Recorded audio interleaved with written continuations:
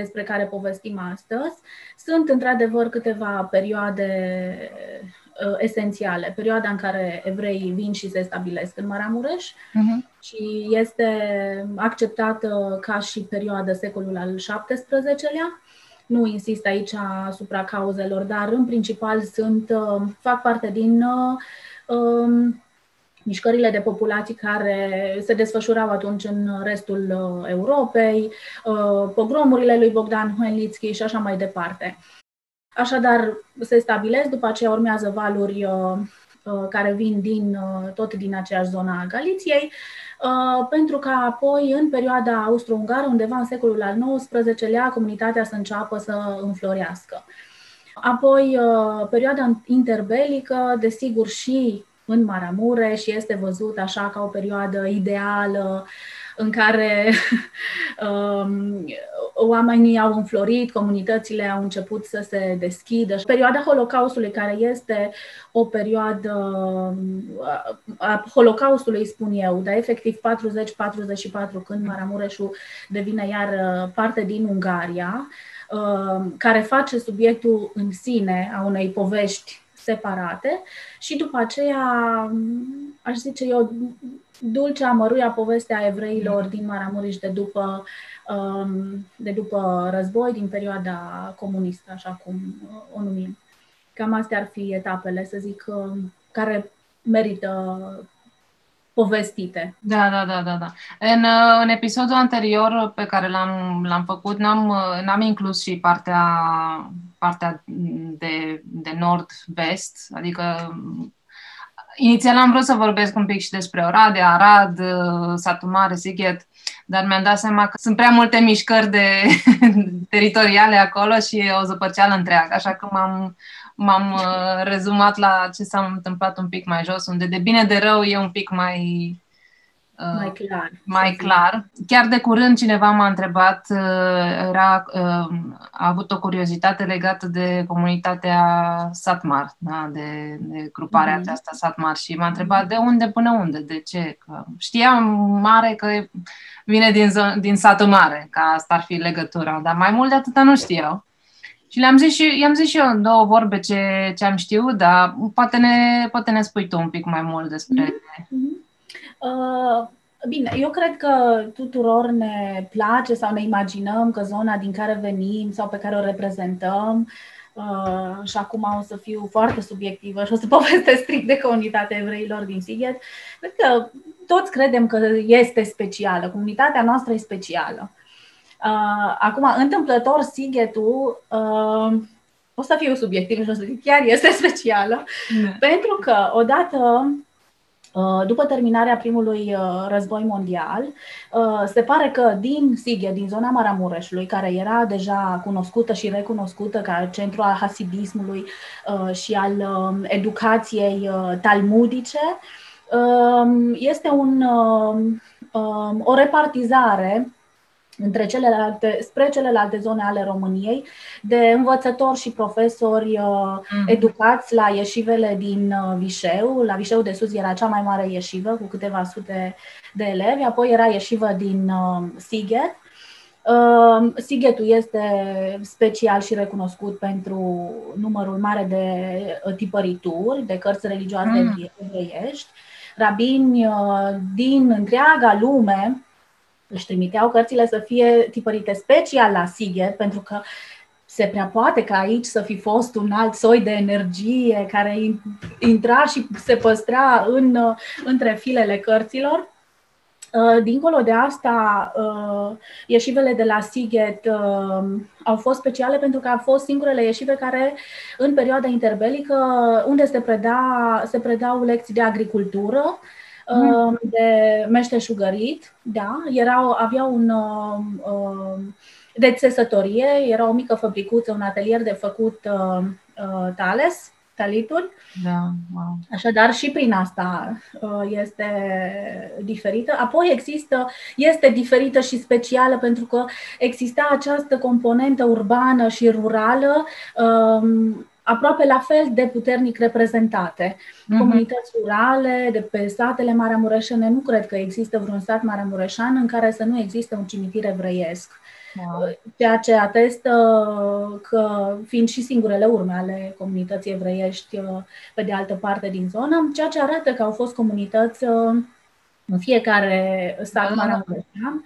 Uh, și ce este mai deosebit, se pare că tot în perioada interbelică, uh, Asociația Europeană de Susținere a Agriculturii, o, o organizație evreiască, um, aduce o infuzie de fonduri, un fel de, un fel de investiție capitalistă, am putea o numi, și li se acordă tuturor celor care vor să să, să investească în genul ăsta de, de business, i-am spune noi astăzi, da. să-și facă ferme.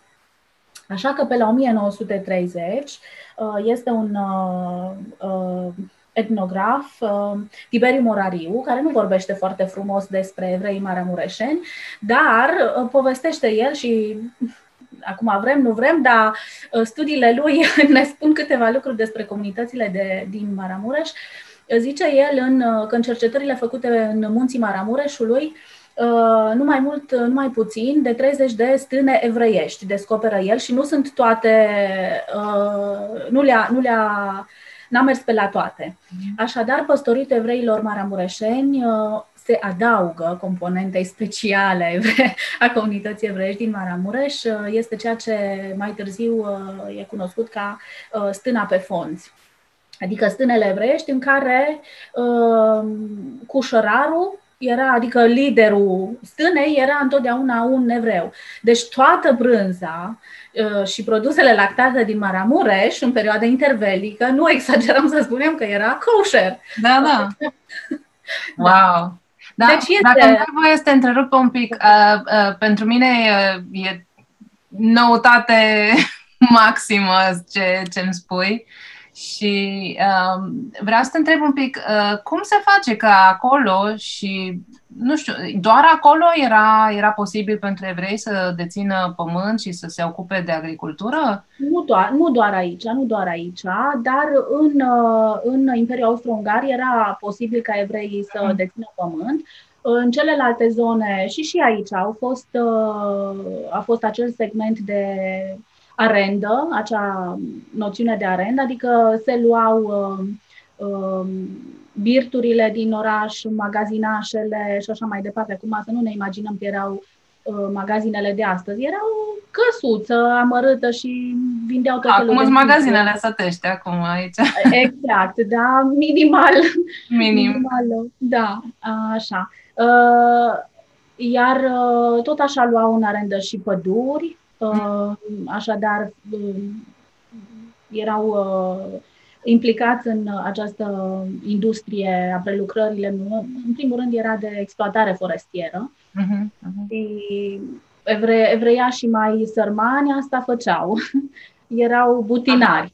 Erau butinari, tăiau lemnele, trimiteau pe deal în jos, iar de acolo pe plute până pe Tisa, până la Dunăre și de acolo se exportau. Deci și în zona asta. Wow. Da, mi-aduc aminte că am văzut două, trei fotografii cu și erau, da, evrei cu da, la tăiat cu...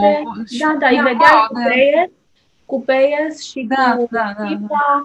Uh, muncind, tăind de acolo la, la uh, lemne, într-adevăr, uh, a fost implicat. Acum, tot așa o mică paranteză, de exemplu, la Vișeu, uh, Elefant era unul dintre mari industriași ai industriei lemnului. Astăzi, în uh, gara Mocănița, uh, este un uh, mic muzeu, de fapt o expoziție, cred că e mult spus muzeu, o expoziție uh-huh Uh, făcută cumva în amintirea, în mod simbolic, a comunității evreiești uh, de acolo, dar Elefant a fost unul dintre mari industriași uh, evrei din exploatare forestieră.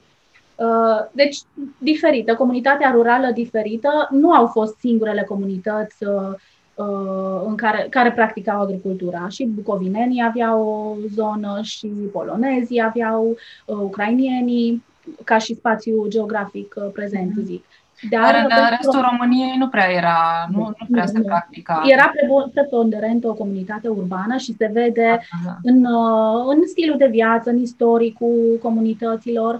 La Maramureș, în schimb, uh, sunt cele două comunități, da, și cea urbană, bine reprezentată, cu rabini faimoși, cu, ce știu eu, reprezentanți în Parlamentul României, arhitecți, medici celebri, muzicieni, Um, doar că, aș zice eu, marea diferență este că comunitatea urbană, evreiască urbană, din zona Maramureșului, și aici vorbim de puțin, Sighetul era centru și poate la Vișeu, să zicem, dar în rest erau, erau proper shtetl, ca să folosim engleză. Chiar vreau să, chiar vreau să menționez uh, uh, termenul ăsta, pentru că, în general, este asociat cu comunitatea din Moldova, shtetl și cu, mm-hmm. de fapt, Moldova și, de fapt, tot ce e în partea de sus, Ucraina și, da, și Rusia. Da. Când, când ne gândim la shtetl, ne imaginăm da, scripcarul pe păi- acoperiș. Da, exact, da, de, acolo, de acolo a plecat. Păi după modelul ștetelului din uh, Commonwealth-ul polonezo-lituanian, uh, practic așa a început constituirea ștetelului. Uh, pentru că nobilii vreau să-și populeze vastele domenii, uh-huh. nobilii polonezi, au folosit populația evreiască și practic era un mic, un mic stat, ștetel, stat.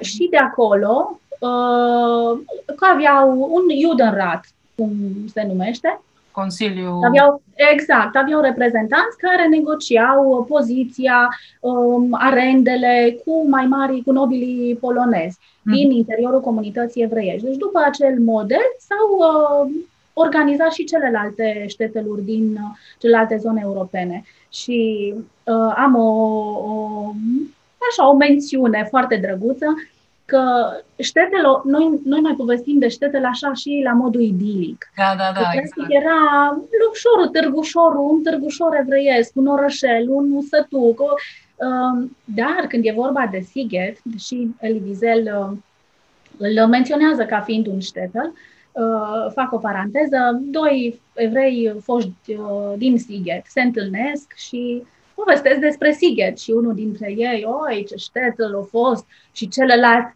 ce vorbești, Nuhăm? Siget nu a fost un ștetel. Siget a fost un oraș. Nu mai spune așa. și părerile sunt părțite. Ce, da bine, repet, ne da. referim că a fost ștetel ca și așa o, o capsulă idilică a, da. a unei vieți evreiești uh, uh, faine, cam cum arăta viața la Siget, știi? Aici, zice Eli Wiesel, nu în altă parte, am cunoscut și am trăit o viață de familie evreiască pe care nu o vom mai regăsi. Hohotele de râs, stânguirile, pacea șabatului, rugăciunea Dumnezeului Avram, îngânată de mama și de bunica, sărbătoarea cuștilor, uh, cântecele de Roș Hashanah, mesele de Paști, uh, consfătuirile comunitare, vizitele bunicului, poveștile cerșetorilor vagabonzi, povestirile refugiaților, emisiunile interzise ale postului Radio Londra și Radio Moscova, pe care, cu perdele trase și cu obloane închise, le prindeam noaptea. Mă revăd, așezat sub un tei, cu o carte în mână, vorbind cu norii. Cam asta poate da. să fie una dintre imaginile vieții la Siget. Vre, Deși vremuri sunt, pașnice. Da, vremuri pașnice, într-adevăr, pentru că cu excepțiile de rigoare, uh, în perioada interbelică a existat un soi de armonie, uh-huh. ca și înainte, cu toate că mișcările antisemite și actele de agresiune erau, uh, erau frecvente și erau active în restul României, nici Maramureșul n-a fost uh, uh, scutit uh, și este celebru anul 1930 când uh, într-o campanie amplă a lui Corneliu Zelea Codreanu și o comunitate din, uh, din Maramureș, respectiv la Borșa, uh, doi preoți uh, catolici uh, au fost uh, arestați uh, și acuzați de instigare la violență. Au fost incendiate 128 de case. Wow. Marea majoritate au fost uh, case evreiești, deci mișcarea a fost uh, clar îndreptată asupra comunității. Apoi, uh, presa vremii tot așa menționează uh, uh, ce se întâmplă, mă, mă rog, scoțând în evidență uh, și insistând pe clișeele, uh, pe stereotipuri și așa mai departe. Uh, cu clasicele acuzații împotriva comunității evreiești, ceea ce mie mi se pare uh, un, un studiu aparte este faptul că, uh, legat de, de presa vremii, evrei lucrau la ziare naționaliste antisemite din da. Sighet. Dora Sorel este una dintre supraviețuitoarele din Sighet, a și scris o carte, este fica celebrului uh, Sorel. Uh, Uh,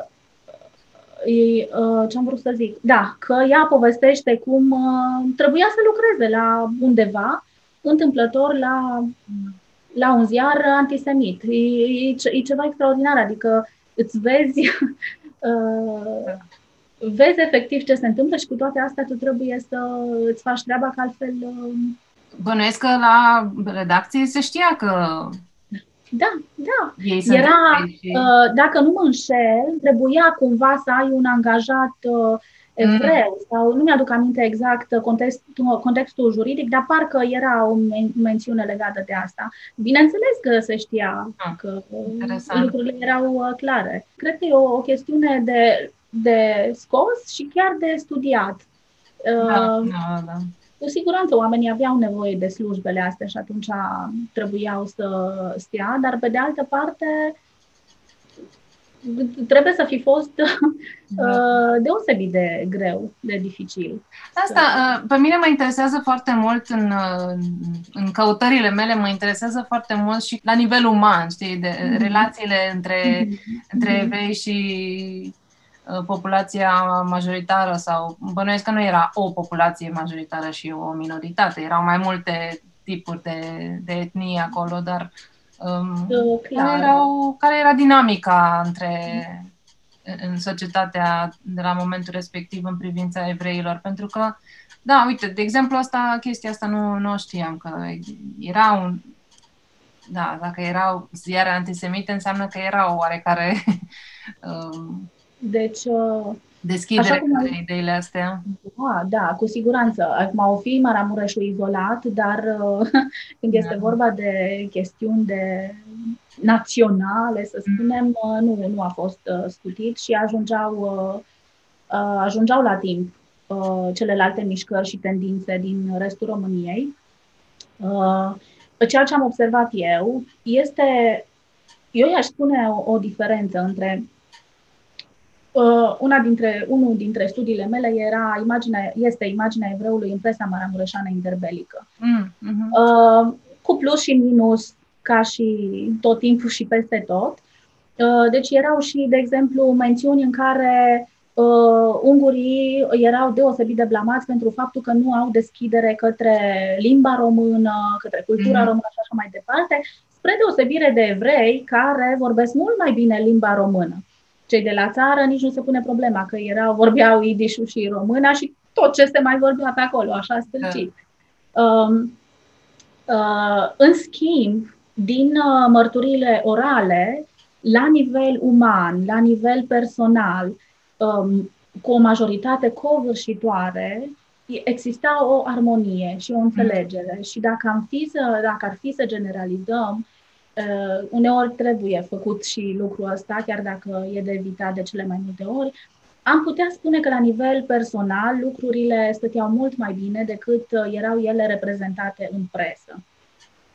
Adică am întâlnit oameni care au povestit de vecinii lor, lor evrei care au plâns efectiv. Erau ori români, ori maghiari, efectiv au plâns când și-au adus aminte prietenia lor, jocurile, uh, și așa mai departe. Sunt foarte puține cazuri pe care le-am întâlnit uh, să spună uh, un lucru sau altul. Uh-huh.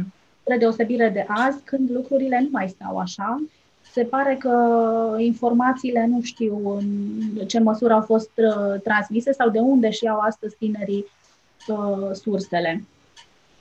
de, de informare legate de subiectul ăsta. Uh, deci, la nivel uman, aș spune că lucrurile pot fi, pot fi prezentate într-o lumină mult mai pozitivă decât cele la nivel uh, instituțional, să spunem. Da, da, da. Da. Și totuși lucrurile s-au au degenerat. Ca să, da, într-adevăr, lucrurile au degenerat uh, deosebit de rapid. Dacă Maramureș până în 1944, cu toate că făcea parte din uh, uh, Ungaria, și aici avem tot felul de povești, cât de cruzi au fost jandarmii unguri care deja erau în uh, Maramureș, cât de răi erau profesorii maghiari aduși în satele maramureșene și unde evreii trebuiau să meargă să se înscrie la școală și să facă școală, cât de rău se purtau cu ei mai degrabă decât cu românii și sunt mărturii orale care atestă asta. Lucrurile au fost relativ mai pașnice care, ca în celelalte zone, cu excepția anului 1941, când, uh, intrând în vigoare legile maghiare, printre care cea a dovedirii cetățeniei uh, maghiare, desigur, uh, un mare număr de evrei n-au putut să facă asta. Și atunci a fost uh, o primă o primă campanie de deportare, fie în lagăre de muncă forțată, fie în ceea ce se numește astăzi în literatura de specialitate micul Holocaust. Prima campanie de ucidere în masă de la Kamienets Podolsk. Wow unde peste 20.000 de evrei au fost uh, împușcați, uh, bineînțeles, în, ma, pe marginea gropii comune, uh, împușcați în cap și uh, au căzut în groapă. Și aici uh, cartea Noaptea lui Elie Wiesel este deosebit de uh, plastică în, uh, în, în descrierea acelui moment, moment adus și povestit de îi spune Wiesel primul martor al Holocaustului, Moise de Bidel, paracliserul, care se întoarce de la Camieneț Podos și încearcă să le spună sighetenilor oameni buni. Lucrurile sunt mai, mai grave decât uh, credeți, nimeni nu-l crede, este primul martor necrezut. Da. Uh, de ce crezi că nu, de ce crezi că lumea nu credea? Așa cum am spus, era o zonă izolată, uh-huh. în primul rând. Apoi, realitatea arăta altceva. Adică mergeai pe stradă, nu erai nevoit, nu, de-abia în aprilie 44 s-a uh, instaurat ghetoul. Adică mm. era imposibil de crezut, lucrurile erau într-un făgaș mai mult sau mai puțin normal, oamenii își vedeau de viață, de, de, de lucru, de muncă, de sărbători și așa mai departe. Doar după intrarea uh, armatei germane la Budapesta în martie 44, repede, repede uh, lucrurile au fost accelerate pentru că rămăsese o ultimă enclavă de populație evreiască în uh, Europa. Uh, Maramureșul avea 40.000 de evrei, doar Maramureșul. Erau cam 130 în întreaga, 130 de mii în întreaga Transilvanie, dacă nu și mai mult. Deci 40 de mii erau numai în Maramureș. 38 de mii au fost deportați și doar 2300 s-au întors. Wow. Rapid. Da. Aprilie ghetou, mai deportarea și gata. E incredibil. Da. Cred că, cred că foarte multă lume nu-și dă seama cât de repede se pot întâmpla lucrurile astea și cât de șocant este, bine, uh, evenimentul în sine, dar mai ales uh, șocul ăsta interior al cuiva care um, azi trăiește într-un fel Uh-huh. Și mâine e luat pe sus, practic. Și asta, asta e, e ceva care mă, mă macină și pe mine, pentru că mă uit în jurul meu, bine, nu, nu fix în România, dar în lume. Și, și foarte multă lume începe să vorbească din nou despre, despre genul acesta de, de, de șocuri, da? Uite ce se întâmplă în Statele Unite acum cu uh, manifestările antisemite și foarte multă lume are flashback-uri din, uh, din clar, clar. Perioada clar. asta și, și în Germania, de altfel, da? erau foarte mulți evrei chiar asimilați, care se, se considerau parte din societatea germană. Și... Aici ai paradoxul. Efect, da. ăsta e paradoxul că, că dar una dintre, dintre posibilele explicații este aceasta, că văzând cum se poartă oamenii și ce se întâmplă, nu-ți venea să crezi că omenește lucrurile astea se pot uh, întâmpla.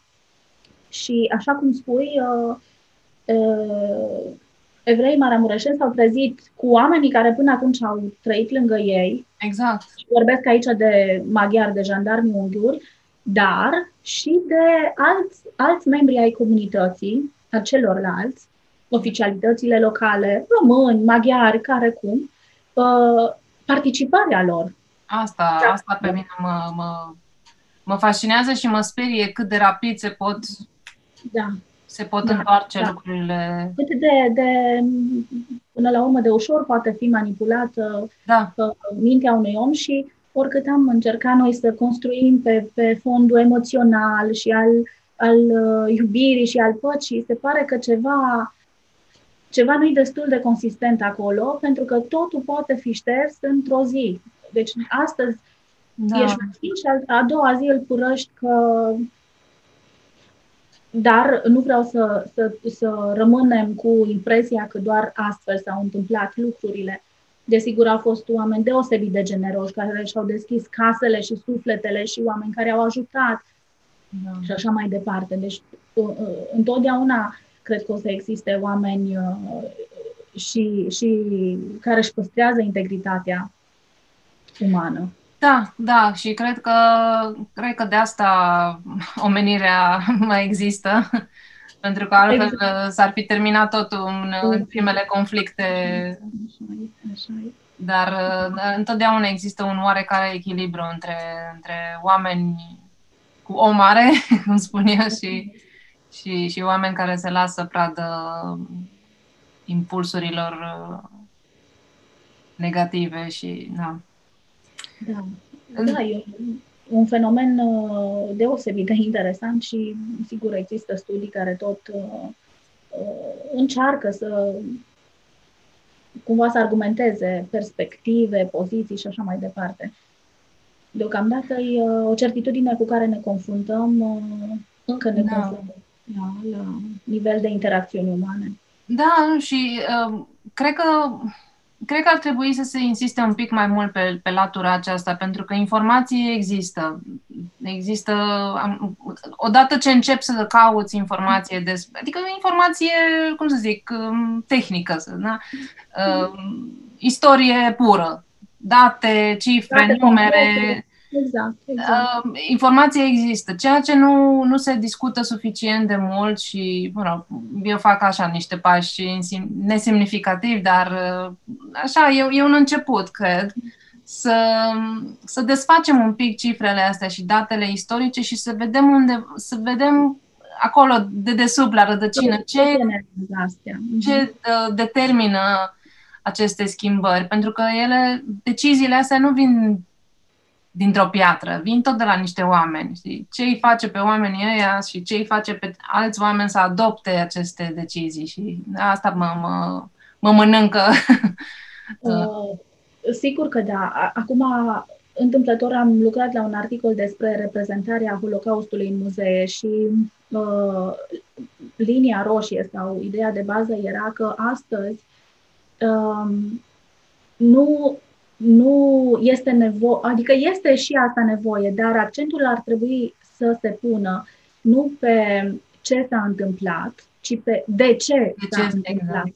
De ce s-a, ce s-a întâmplat.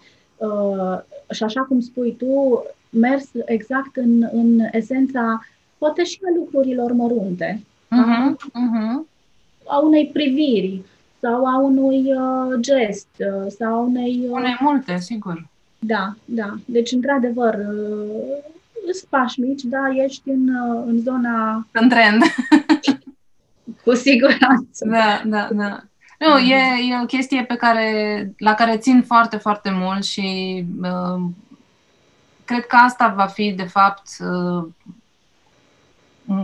știu eu, motivul pentru care anumiți oameni vor ieși din, din zona asta a indiferenței Mhm. și vor deveni aliați, nu neapărat a evreilor, dar ai, ai principiilor de, de etică și morală și de apropiere sufletească între oameni. Ca, na, practic. Clar, clar. Din asta... nefericire, o, o poveste evreiască este unul dintre uh, exemple. Uh-huh.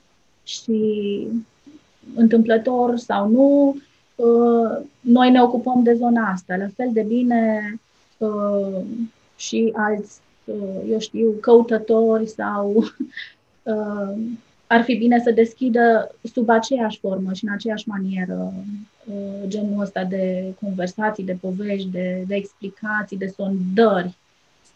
Da. Da. Deci în, înțeleg că în perioada asta 40-44, în special uh, în, în, în, spre finalul acestei perioade, da, s-a, da. s-a petrecut o... Clar, clar. Uh, spuneam că 41, deportarea la Kameneț Podolsk și prima uh, ucidere în masă, ceea ce este industria asta a, mm-hmm. wow, din ce, ce cuvânt, ce cuvânt da. potrivit da. și dureros, da, industria Holocaustului. Da. Uh, iar uh, 44, da, aprilie ghetourile, în mai, uh, cel puțin pentru Maramureș, în patru transporturi, uh, întreaga populație deportată. Și uh, uh, deportarea a fost direct la Auschwitz, cu oprire la Coșițe. Așa, și, așa știm uh, Uh, trenurile și numărul deportaților uh, din uh, Sighe, pentru că au fost numerotate și păstrate acolo în gara de la Coșiță. Și Auschwitz și după aceea, cel mai probabil, în primele, în primele zile, persoanele vizate direct, copii, bătrâni, femeile, nu știu, da. au pierit. Mai avem uh, o singură supraviețuitoare la Siget, Goldinei, cum îi spun eu, uh, Golda Solomon. Mm. Uh, este incredibil cum ce, ce atitudine și ce poziție față de viață are. N-am auzit-o... Povestește un pic despre ea. Da, n-am auzit-o, era loc, bunicii mei uh, locuiau pe aceea stradă, cu, locuia pe aceea stradă, vis-a-vis uh, erau casele Uh, într-o zonă care inițial făcuse parte din, uh, din unul dintre cartierele evreiești, mai rămăseseră câți, câțiva membri acolo. Goldinei a fost căsătorită de trei ori, fiecare soț, după, soț da, după, după, da, după. Nu a avut niciodată copii, mm. uh, cel mai probabil uh, în urma unor tratamente suferite la Auschwitz, dar uh, atitudinea ei în fața celor întâmplate nu a fost să se lamenteze, să facă caz din asta. Povestea, mai povestea, auzeam că vorbește cu bunicul meu, dar schimbau, uh, uh, schimbau replici în idiș, nu în, uh, sau în maghiară. Deci nu povesteau niciodată în română să înțeleagă ceilalți legat de asta. No, clasicul caz cu tatuajul pe mână, Uh, trecută prin Auschwitz, au avut norocul să fie la, să nimerească și în zona care se numea Canada, ceea ce îi permitea să condițiile nu erau chiar așa de grele, s-a întors acasă și a încercat să-și reconstruiască viața. Câți ani avea când a fost în oh, Auschwitz? Vreo 16, cred. Uh-huh. Era domnișoară, era domnișoară și cu atâta seninătate, uh, poate o să-ți trimit linkurile de la um, mărturile ei de pe TVR. Uh-huh. Mhm. Cu atâta seninătate vorbea, ea zicea, ea singură zicea că era o femeie frumoasă, că era o fată frumoasă și avea un păr frumos și zice, nu tăia părul, uh-huh. zice, părul crește. Deci nu, ea nu a dramatizat. Uh, după ce a venit din război, uh, uh, eu, eu țin minte că Goldie Amy fiecare seară ea nu mânca altceva decât un măr. Asta era cina ei. Un măr, poate un biscuit, o cană de ceai. Uh, tot timpul avea shorts, tot timpul era aranjat, avea unghiile făcute cu lac, părul făcut, un baticuț, așa. Era o reminiscență anilor 40-50, deosebit de drăguță, dar cu o atitudine exemplară față de viață. Exemplară. Dar, dar, tot așa cu sechele. Mm. Sechele Um, cineva îi schimbă cocoșul, cineva îi mută, îi uh, schimbă castraveții din borcan, cineva încearcă să o trăvească, nu mânca de la nimeni, numai de la uh, bunicii mei, cum erau prieteni apropiați. Uh, avea tot timpul impresia că cineva urmărește să-i facă rău, să o ucidă, să o... De altfel, o persoană absolut uh, normală. Dar avea, deci eu rămas câteva pe, to- pe parcursul întregii vieți. Și acum, că doar atât a rămas. Da. Astea, astea, astea sunt lucrurile pe care le-am observat eu și copil fiind. Vedea, da. da, și copil fiind. Dar uh, acum, de exemplu, când mă duc în vizită la ea, n-am mai fost de mult că uh, situația asta și nu aș vrea să îi se întâmple ceva. Eu mai cântat în Yiddish, întrebai senilă deja cu demență, deci are momente de luciditate, că își aduce aminte exact. De... Și acum are probabil 90 de ani? 90, 90, da. da. Cântă în Yiddish și mai întreb una alta, mai știe, mai nu știe, de părinți, vorbește mult de părinți.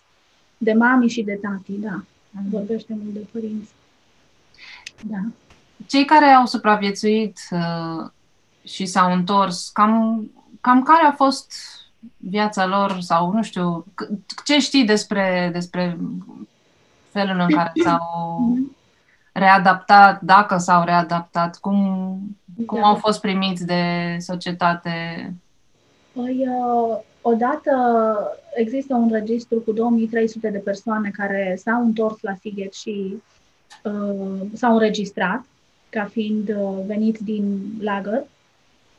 Apoi au existat câteva tranșe de emigrare și, desigur, uh, și dintre sigheteni uh, au plecat înspre Israel. Uh-huh. Deja e cunoscută povestea în anii 50 s-a, s-a foarte mult, nu? Și, și ulterior. Și mai, târziu, da. și mai târziu. Au fost mai multe etape a vânzării evreilor uh, de către statul român, dar cei care au rămas, fiind Uh, perioada aceasta a comunismului și a uniformizării societății, mm. cumva li s-a potrivit, pentru că studiile arată că uh, cei mai mulți dintre supraviețuitori și-au dorit o viață normală, să fie cât mai anonim.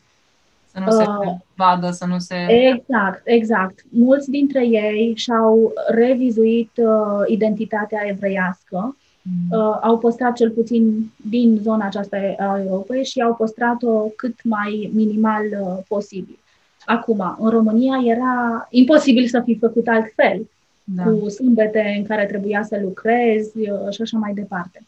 Și așa că uh, au, au intrat în, în uh, masa populației cu slujbe obișnuite, uh, cei care aveau servici, uh, au mai fost care au rămas uh, acasă, femei care lucrau acasă, încet, încet, însă fie au emigrat, fie s-au stins din viață. Uh, au încercat să-și facă o familie și așa că cei mai mulți dintre ei uh, s-au căsătorit și primul gând a fost să facă un copil, indiferent cu cine. Dacă până atunci în Maramureș era aproape de neconceput să existe căsătorii mixte, deci foarte rare cazuri foarte, foarte rar cazuri. Sunt mărturii în care uh, oamenii spun că fetele niciodată, fetele evreice, nu, nici nu se plimbau cu băieții neevrei. Adică aveau grupul lor și când mergeau pe stradă, nu era... Uh, și cazurile celebre, bineînțeles că erau urmate de Shiva, adică fata era considerată moartă moartă. Da, da, da, era... Nu oh. există. Așa. Uh, dar uh, căsătoriile mixte au fost, uh, au fost frecvente după aceea. Mm.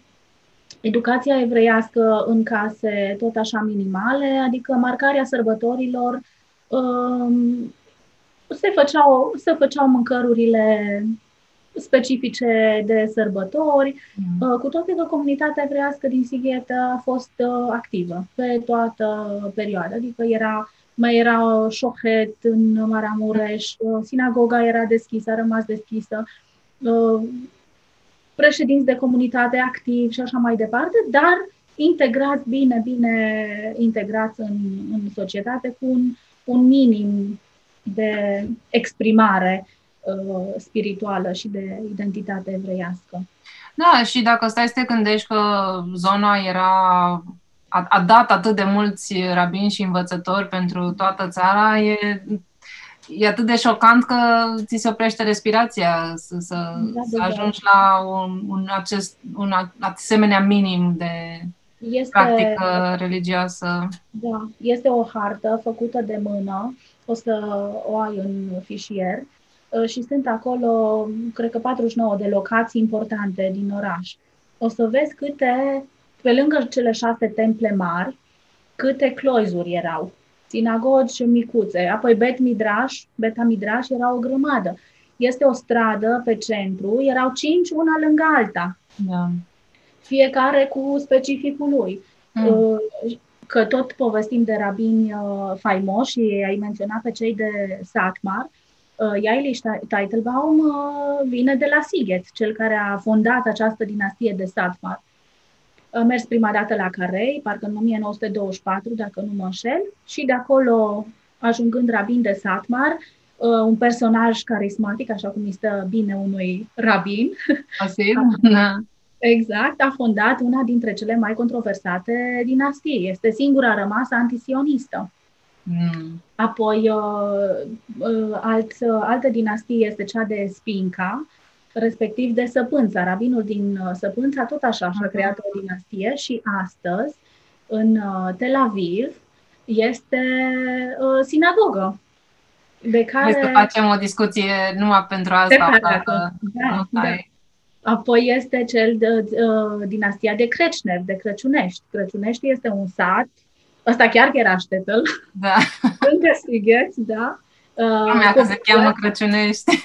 Da. Crăciunești a fost, uh, se pare că îndemeiat de ceva slavi uh, într-o seară de Crăciun, au, au ajuns așa, dar între timp s-a transformat într-un stat evreiesc cu cea mai densă populație din, uh, din Ungaria secolului al XIX-lea, Imperiul Austro-Ungar. Așa că sunt povești, sunt povești, deci nu știu, subiectivă sau nu, dar Maramureș evreiesc e special.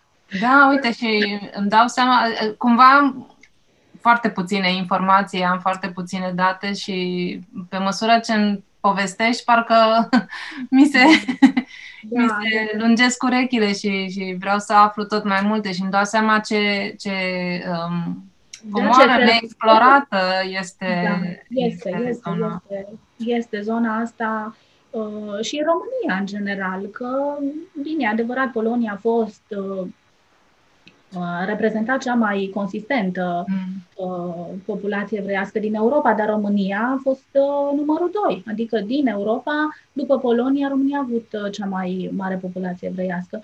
Deci viața evreiască în, în, pe, pe teritoriul ăsta este de sondat, cred că de acum încă da. multe generații. Avem ce povesti și studia. Da. Trebuie neapărat, nu știu, prea, uh, mă, mă enervează că nu se, da. nu se face mai mult și toată lumea vorbește despre Holocaust, despre, despre felul mm. cum au murit evrei și insuficient este, se, e, e, e Păi... E revoltător cât de puțin se știe cum au trăit și cum, ce au da. făcut, da. ce au realizat, ce... Și să știi că tot așa, în urma studiilor, unul dintre lucrurile care trebuie neapărat făcute uh, bine, eu vorbesc acum de predarea Holocaust, de educația Holocaustului.